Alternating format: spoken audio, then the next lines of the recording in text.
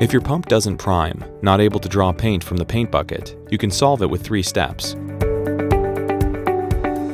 Follow them chronologically. If a step doesn't work, go to the next one. Firstly, make sure the suction tube is fully immersed in the paint. If this is not the case, the paint spraying unit will draw air and will be unable to prime. If the suction tube is fully immersed in the paint, but the paint spraying unit is still unable to prime, continue with the next step. Check if the spraying valve is switched to prime. On this image, you can see where the spraying valve is located on the different paint spraying units.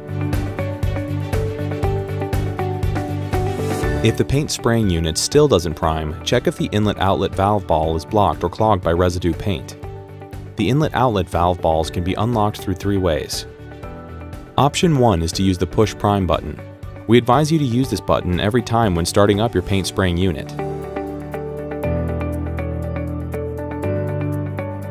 Are the inlet-outlet valve balls still stuck after using the push prime button? Try to rinse them by attaching a garden hose to the paint spraying machine. Use the connection part that was included when buying the unit.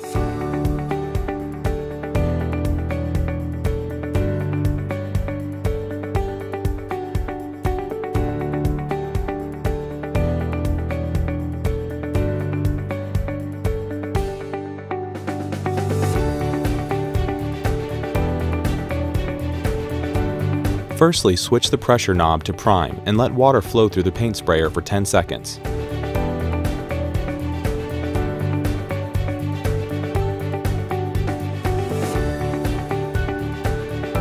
Lock the safety ball of the paint sprayer and remove the tip guard.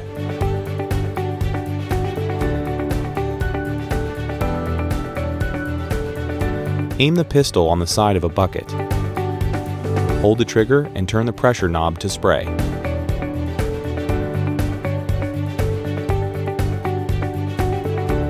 Are the inlet-outlet valve balls still stuck? You can unblock them manually with a small screwdriver.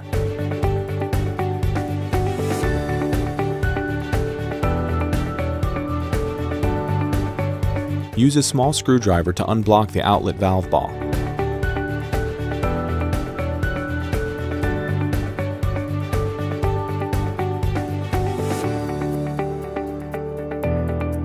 Remove the suction tube to gain access to the inlet valve ball.